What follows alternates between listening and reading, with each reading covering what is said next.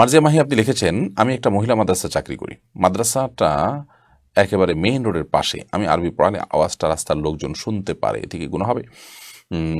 আপনার আওয়াজ, বিশেষ করে কোরআন তেলাওয়াতের আওয়াজ, সেটা তো কোমল এবং মধুর কণ্ঠে তেলাওয়াত করতে হবে, যেটি নারীর জন্য পর পুরুষের জন্য সেরকমটি করা যায় নয়। তার কণ্ঠের আওয়াজ, কোমল কণ্ঠের আওয়াজ তাকে শোনানো যায় নয়। সেই জায়গা থেকে আমি বলব যে, এই ব্যাপারে আপনাকে সচেতন হতে হবে, যাতে আপনার আওয়াজ বাইরে না যায়। যথাসম্ভব আপনি সেই চেষ্টা করবেন। এবং কর্তৃপক্ষ যেন এবারে সঠিক সিদ্ধান্ত গ্রহণ করে তাদেরকে আপনি চাপ প্রয়োগ করবেন কিংবা আপনি প্রতিষ্ঠান পরিবর্তন করবেন। এমনি ফজলে